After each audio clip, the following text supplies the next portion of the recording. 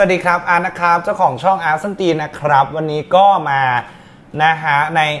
คอนเทนต์ที่หาไรทำหลังจากครั้งที่แล้วเนี่ยเราได้สอนลง Emby นะครับใน Qnap ของพวกเราไปแล้วนะฮะสำหรับการทำ server media นะครับ media server นะฮะสำหรับ Emby นะครับคราวนี้เราจะลองมาลง Plex กันบ้างนะฮะซึ่งถ้าให้เทียบ 2 แอปแล้วว่า Emby อะก็ฟรีแล้วก็ง่ายอะไรอย่างนี้ใช่ไหม Plex เนี่ยก็ฟรีแล้วก็ เราว่า Plex เนี่ย คือ Plex เนี่ยมันเป็นแบบมันปิดอะเนาะแต่ Emby มันเป็น Open Source ใช่ไหม ความแตกต่างมันอยู่แค่ตรงนี้แหละแต่เราว่า Emby เนี่ยยัง support แบบอย่าง Apple TV อย่างเงี้ย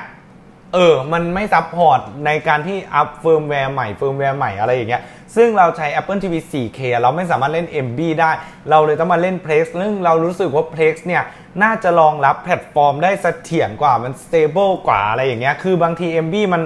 มันไม่ตามเขาไปเรื่อยๆอะ มันแบบเออไม่ได้ก็ช่างมันอะไรเงี้ย แล้วก็ MB เนี่ยไม่คือเราใช้เน็ตตัวตัวนี้ตัวนี้ถ้าตัวนี้ไอตัว831หรืออะไรเนี่ย มันเป็นสถาปัตยกรรมของ ARM มันเป็น ARM Architect อะนะ มันก็เลยแบบว่าไม่ใช่ตัวที่อีก 2 ตัวไอตัวล่างมันเราจะมีตัวล่างตัวนี้จะเป็นอ่า Intel Celeron อย่างเงี้ยเออเนี่ย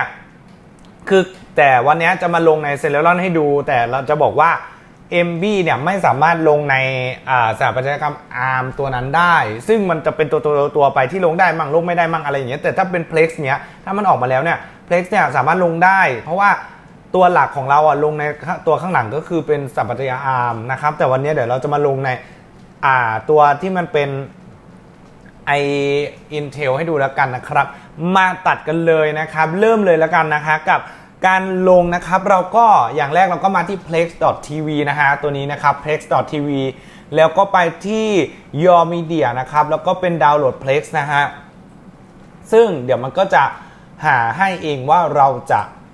โหลดอะไรอย่างเงี้ยอันนี้แอปกับ device อย่างเงี้ยมันก็จะเป็นแอป แต่เราไม่เราก็จะไปที่ plex media server นะครับแล้วก็ไปที่ของเราเนี่ยการที่ใช้ NAS เนี่ยก็ไปที่ NAS เห็นไหมพอ NAS เนี่ยเราก็จะเยอะแยะเลยเห็นปะ มันมีเยอะมากอะ คือแบบ Plex นี่โอ้เยอะอะเราก็ไปที่ QNAP นะครับ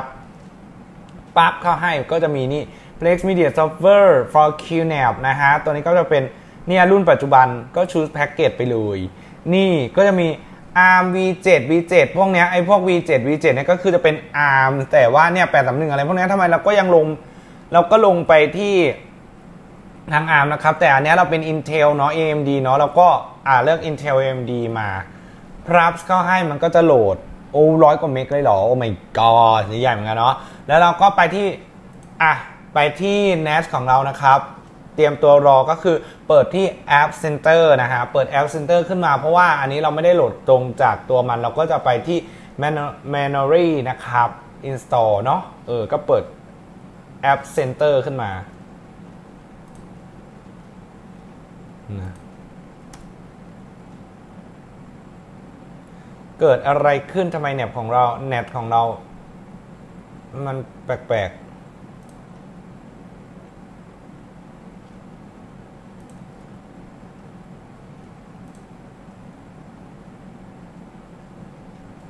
รอโหลดแล้วเดี๋ยวก็ install ลงไปนะครับ install ลงไปแล้วก็ต่อไปก็จะเป็นการจัดการ manage พวก library อะไรอย่างเงี้ยแล้วก็เซตให้มันเป็นแบบ direct pay มันจะได้ไม่กินกับมันไม่ได้ไม่กินแรมเครื่องอะไรอย่างเงี้ยตามสเต็ปไปนะครับ เดี๋ยววันนี้เราก็จะเปิดที่มันเล่นใน iPad ให้ดูนะฮะเพราะว่าวันนี้เราเอา iPhone อัดเสียงไว้นะครับ ไม่ได้ต่อตัวเข้าทางนี้นะครับเพราะว่าครั้งที่แล้วนะครับสอนๆไปแล้วก็อยู่ดีเสียงก็หายไปนะฮะก็ไม่ทราบว่ามันเกิดอะไรขึ้นเหมือนกันนะครับอะตอนนี้น่าจะใกล้เสร็จแล้วนะครับสแกนไวรัสอยู่นะฮะอือ นี่นะครับเราก็เปิดแอป Center ขึ้นมานะครับ แล้วเดี๋ยวเราจะไปลงแบบที่มันลงแบบ manually นะครับ อันนี้ก็ช่างมันไปก่อนหน่อยยังไม่ต้องไปอัปเดตมันอะ install manually นะครับแล้วก็ลากขึ้นมาเลยฟึบอะไม่ลากไม่ได้อะลากพอมันเป็นบวกปุ๊บเราก็วางนะฮะอันนี้ก็คือวิธีง่ายของคนที่เกียจนะครับ แล้วก็ install เลยนะฮะอะ install ลงไปนะครับง่ายๆบางมันไม่ค่อยมีอะไรยากหรอกอันเนี้ยเอาจริงอะ อืม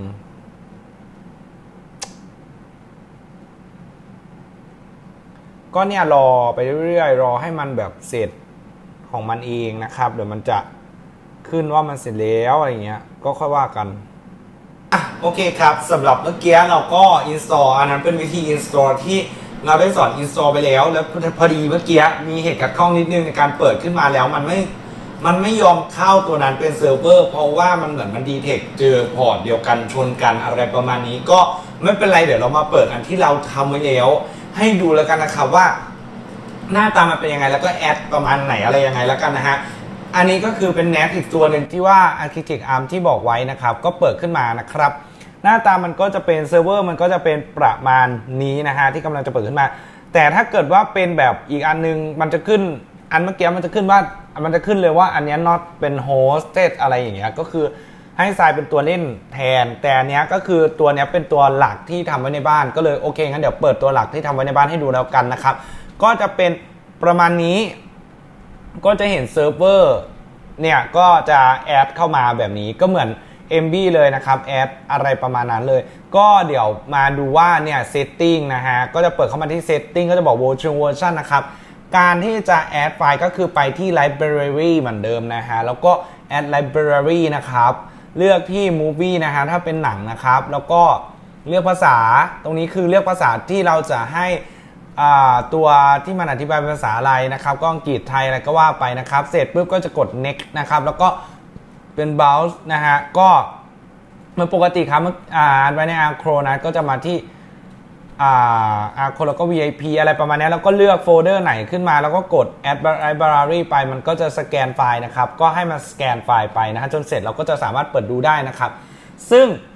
ถ้าเราอยากจะ direct play เนี่ยก็ให้มาตรงอ่าพวกแบบเพลเยอร์อะไรอย่างเงี้ยให้มันเซตเป็นแบบให้มันสูงสูงไปให้หมดอะเนาะอันนี้ก็คือเนี่ยเป็น quality quality ก็คือ maximum นะครับ use maximum ไปเลย maximum ทุกอย่างให้เป็น maximum หน้าเนี้ยนะฮะ แล้วก็ดู player ช่างหัวมาไม่มีอะไรนะครับ general ก็ไม่มีอะไรก็คือตรงเนี้ยเอาให้มันสูงสูงไว้นะครับ แล้วเดี๋ยวเราจะมาดูใน iPad กันว่า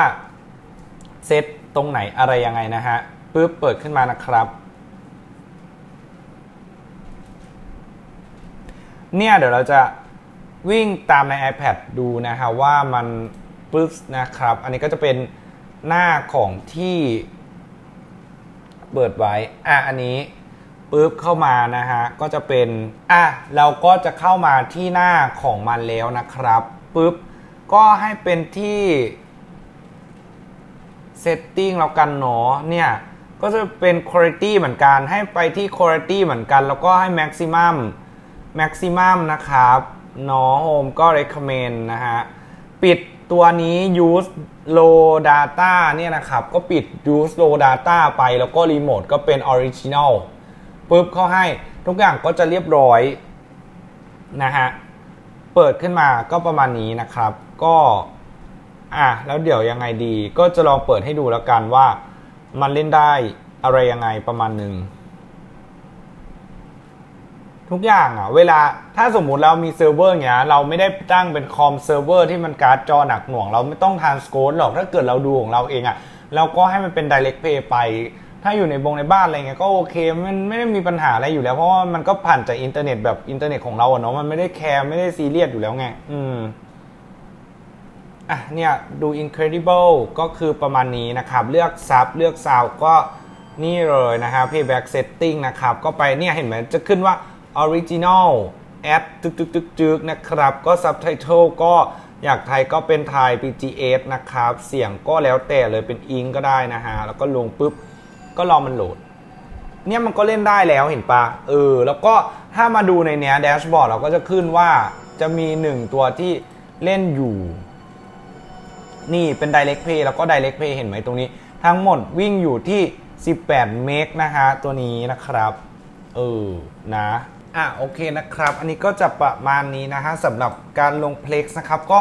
ลองไปทำดูนะครับ แล้วก็เอาไว้เล่นอยู่ในบ้านละกันนะครับ ยังไงก็วันนี้ฝากไว้เท่านี้ละกันนะฮะ